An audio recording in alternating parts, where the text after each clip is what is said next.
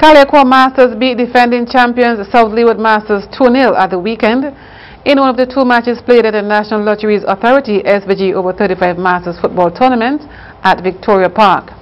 And Royal Roots Masters defeated the Royal St. Vincent and the Grenadines Police Masters 1-0. Catherine Pourre's Class 40 Eärendil crossed the finish line in the RORC Transatlantic Race outside Camper and Nicholsons and Port Louis Mariana on Monday.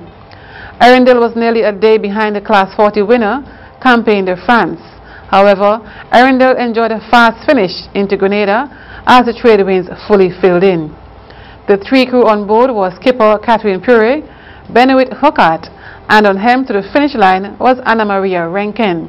All three are highly experienced ocean racers, but this was the first time they had come together as a team. And the world's leading athletes will compete in the winner-takes-all Diamond League final after a major revamp of the annual international event.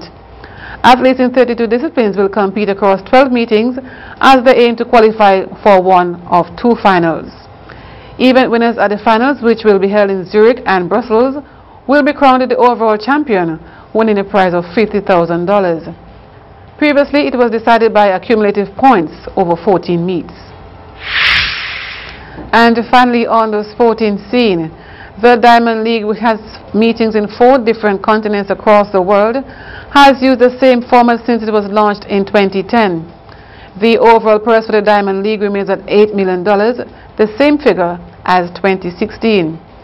The two finalists offer a prize pool of $3.2 million, a distribution which governing body of the International Association of Athletics Federation, IAAF, says has been refocused from the last year's pot.